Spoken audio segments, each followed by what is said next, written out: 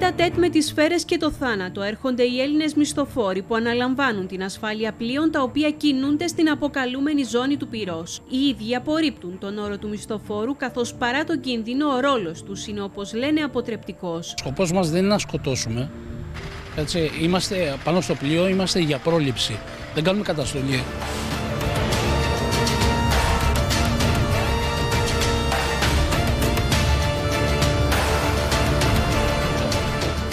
Από τους πολύπειρους κριτικούς στον τομέα του Maritime Security με πολλές και επικίνδυνες αποστολές στο ενεργητικό τους μιλούν στην Κρήτη TV για το παιχνίδι ζωής και θανάτου που ξεκινά στο κατάστρωμα κάθε πλοίου που θα βρεθεί στο στόχαστρο των Σομαλών είτε των Νιγηριανών πειρατών.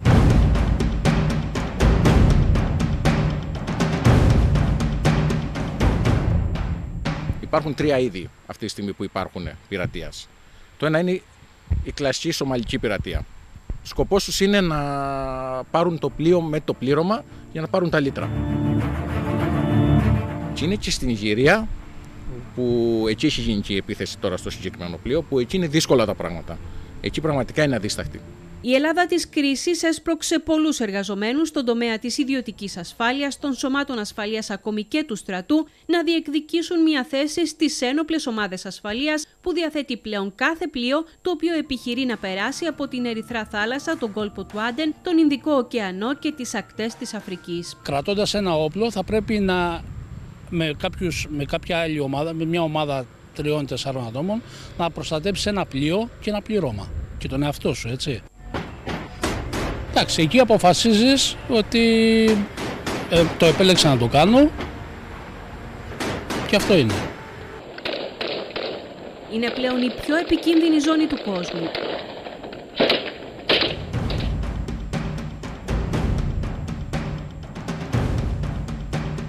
Ο καπετάνιος κλείνει τα πάντα με ένα ειδικό μπουτόν, κλείνει τα πάντα, καμπίνες, τα πάντα, δηλαδή μπλοκάρει το πλοίο έτσι. Όλο το πλήρωμα είναι μέσα στις καμπίνες, δεν είναι κανένας έξω, εκτός από την ομάδα φρούρησης. Σομαλοί πειρατές που αρπάζουν πλοία διεκδικώντας λίτρα έως και 5 εκατομμύρια δολάρια χάνουν έδαφος από τους αδίστακτους Νιγηριανούς που απαγάγουν ναυτικούς, όπως το νεαρό Έλληνα που βρίσκεται εδώ και λίγες ημέρες στα χέρια τους. Ο Κώστας Κεφάλας, team leader ανάλογων αποστολών και ο Γιάννης Αναγνωστάκης που έχουν βρεθεί πολλές φορές αντιμέτωποι με πειρατές στα ίδια επικίνδυνα νερά, αποφεύγουν τις προβλέψεις. Εάν πιαστείς σε πειρατή Νιγηριανό, και η εταιρεία σου ή η φύλαξη η εταιρεία η ναυτιλιακή ε, δεν κάνει τα κατάλληλα πράγματα για να σε πάρει πίσω δεν, είσαι ξεγράφεις από το χάρτη. Εξαρτάται το πόσο γρήγορα θα αντιδράσουμε. Στόχος των ένοπλων φρουρών είναι αρχικά να αποτρέψουν την προσέγγιση των πειρατών. Οι κανόνες εμπλοκής αν αυτή ξεκινήσει είναι συγκεκριμένοι. Όπως εξηγούν, στόχος τους είναι να αποδείξουν ότι το πλοίο φυλάσσεται και να το στρέψουν σε φυγή. Όταν περάσουμε μετά ένα συγκεκριμένο σημείο θα βγάλουμε τα, θα, θα βγάλουμε τα όπλα και θα τους τα δείξουμε.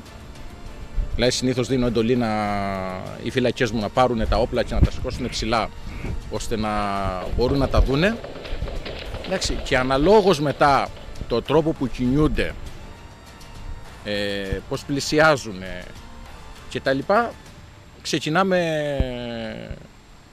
προειδοποιητικές. Τουλάχιστον 150 Έλληνες ανάμεσά τους και δεκάδες κριτικοί ταξιδεύουν αυτή την ώρα πάνω σε πλοία φορτηγά, διασχίζοντας την αποκαλούμενη ζώνη του πυρός. Το κίνητρο δεν είναι οικονομικό, εξηγεί ο Κώστας Κεφάλας, καθώς ο κίνδυνος που αντιμετωπίζουν δεν αποζημιώνεται. Προφανώς η αδρεναλίνη. Εμπειρίες, ε, πας σε πάρα πολλά μέρη και το βασικότερο από όλους ότι βοηθάς ανθρώπους. το που είναι, αυτό είναι το πιο βασικό. Όσοι έχουν κατέβει κάτω όσον αφορά, γιατί δεν είναι λίγοι, μόνο για τα χρήματα, συνήθως τον πρώτο μήνα θα φύγουν κιόλας. Δεν θα, δεν θα αντέξουν.